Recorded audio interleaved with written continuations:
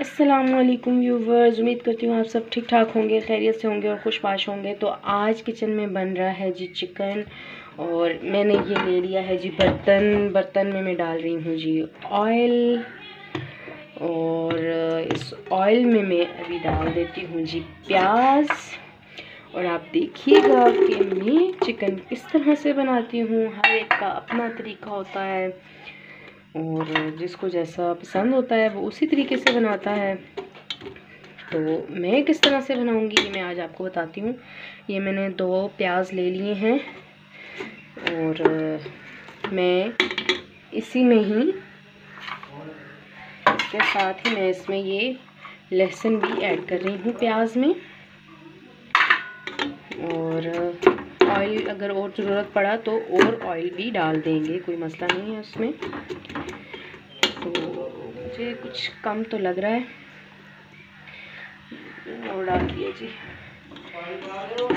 तो इसको अभी मैं ब्राउन करूँगी, लहसुन को भी और प्याज को भी।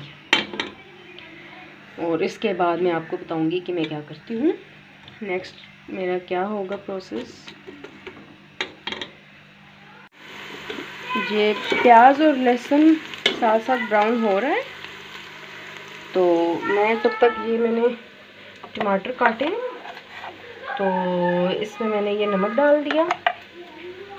और ये मैंने साथ ही ये थोड़ी सी सर्फ मिर्च ये डाल दी। और ये हल्दी डाल दी।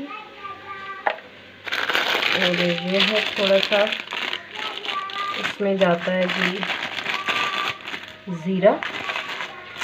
इसमें ये डाल दिया मैंने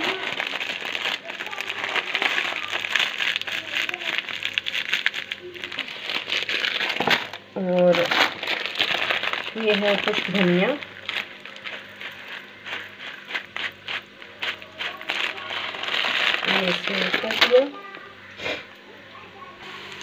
अभी ये सही तरह से ब्राउन हो जाए तो फिर मैं बताती हूँ नेक्स्ट तो क्या करती हूँ मैं?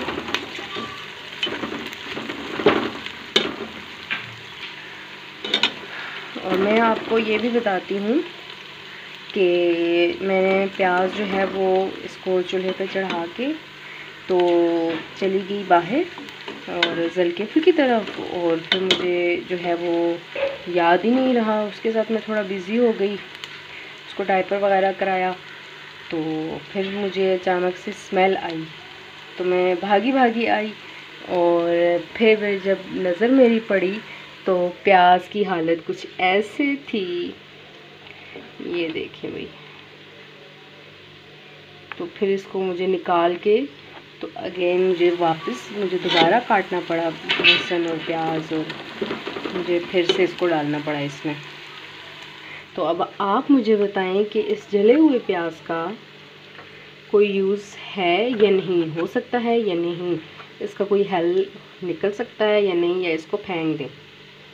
वैसे तो मैंने एक जगह देखा था कि इस तरह से जले हुए प्याज को उन्होंने निकाल के तो उसको रख दिया था फ्रीज़र में या फ्रिज में जिधर भी। तो फिर जब मैंने पूछा कि ये आपने क्यों इसको दोबारा से मतलब महफूज कर लिए, इसको फेंक दे तो उन्होंने बोला, जब चावल बनाएँगे शाम को तो इनको, इस प्याज को चावलों में डाल देंगे।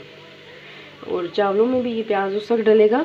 जब चावलों का पानी जब डालते हैं तो उसका जब उबाल आ जाता है तो उस वक्त इसमें ये प्याज डाल देंगे। तो आप बताएँ, क्या ये तरीका ठीक है या नहीं? क्योंकि मैंने तो कभी ऐसा किया नहीं है तो अब मुझे पता नहीं है सही से कि इसका कोई और हल है भी या नहीं। ये लहसुन और प्याज जो है, ये ब्राउन हो चुका है। तो अभी मैं इसमें करती हूँ। ये जो टमाटर हैं, ये मैं इस जूसर में डालती हूँ। ये कुछ धनिया थोड़ी सी बीच में मैंने डाल दी थी।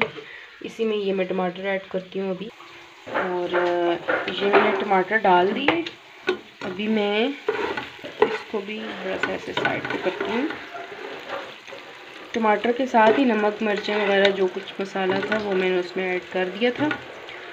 तो अभी ये जो है, इसको भी मैं इसमें ऐड करूँगी।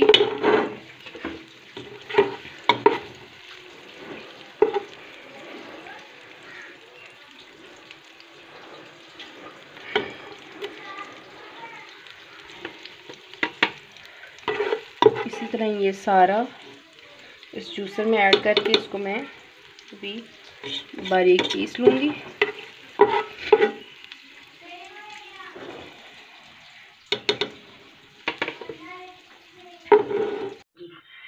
इसमें से मैंने प्याज निकाल के सारा इसमें ऐड कर दिए। और अभी ये जो ऑयल है, इस ऑयल में मैं डाल देती हूँ जी चिकन। चिकन अगर मैरिनेट किया हुआ हो तो भी चाहिए। भले दही है, सोया सॉस या कोई और मसाले, ज़ीरा वगैरह इस तरह की चीज़ें आप पीस के तो मैरिनेट कर लें, उसके साथ मसाले लगा के। तो भी मैरिनेट किया हुआ भी यहाँ पे थोड़ा सा फ्राई कर सकते हैं, लेकिन बहुत ज़्यादा नहीं करना। थोड़ा सा फ्राई करना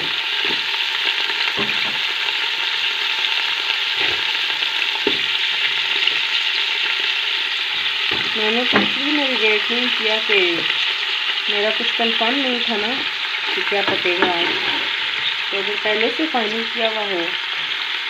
या जैसे पता होता है कि मेहमानों ने आना है जी कंफर्म है। तो फिर बंदा पहले से मैरिनेट कर सकता है। इसको मैं इसी ऑयल में ही थोड़ा सा थोड़ा फ्राई कर लूँगी। और रह गया ये। तो इसको ले चलते हैं जी। इस पर लगा देते हैं।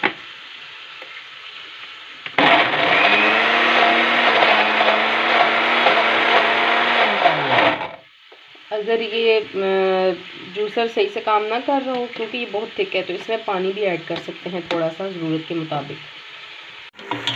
चिकन फ्राई हो रहा है, और ये मैंने बिल्कुल पीस लिया है, और ये बहुत ही थिक हो चुका है, इसको निकालना थोड़ा सा मुश्किल होता है। उल्टा करके उसके बाद बाकी जो होता है, वो चम्मच से निकालना पड़ता है। और इसको बहुत ज़्यादा फ्राई नहीं करना क्योंकि जब ये मसाला इसमें ऐड करेंगे तो उसके भुनाई होने तक जो है ये बहुत ज़्यादा गल जाता है। तो इसलिए हल्का सा ही बस इसको थोड़ा सा कलर इसका आ जाए लाइट सा ब्राउन तो इसमें फिर वो मसाला डाल देंगे, जो कि हमने पीसा है, प्याज, टमाटर वगैरह जो ग्राइंड किए चिकन जो है उसका कलर चेंज हो चुका है। तो मैं अभी इसमें ये मसाला ऐड कर देती हूँ। तो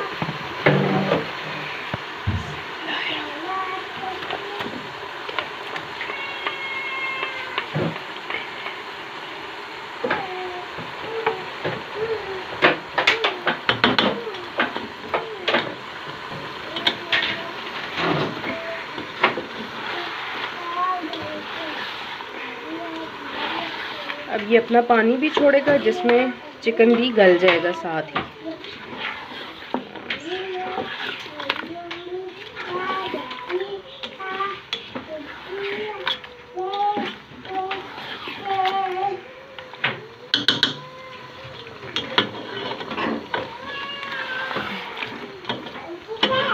और ये जो है, इसको भी मैं किसी चम्मच के साथ निकालती हूँ। इसमें डाल देती हूँ। क्योंकि ये वैसे निकल नहीं सकता।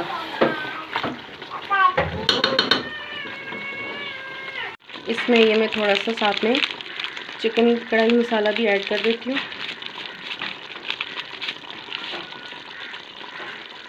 ताकि ये अच्छी तरह से मिक्स हो जाए इक्वल हो जाए सारा।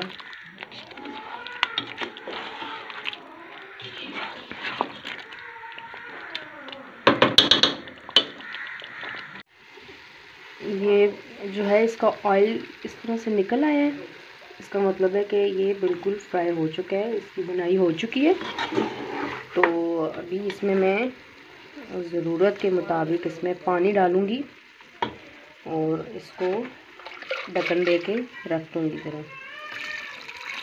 ये जो इसको खंगाल लिया मैंने, वो पानी था।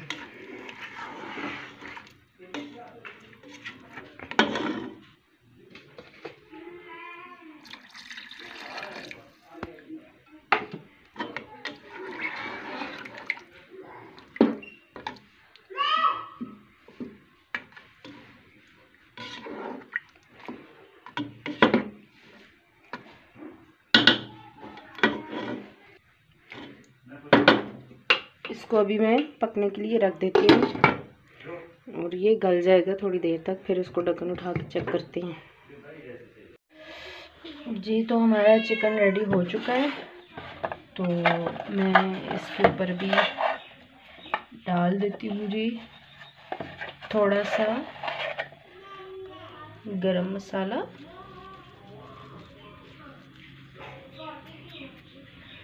और ये इसमें जी जा रही है थोड़ी सी धनिया। और ये है जी सब्ज़ मिर्च। और ये इसमें जी है अदरक। तो खाना अब सर्व करने वाले हैं अब हम। अगर आपको वीडियो पसंद आई है तो वीडियो को लाइक करें, कमेंट करें और शेयर करें और चैनल को सब्सक्राइब करें। मिलते हैं नेक्स्ट वीडियो में, तब तक के लिए अल्लाह हाफिज़। Thanks for watching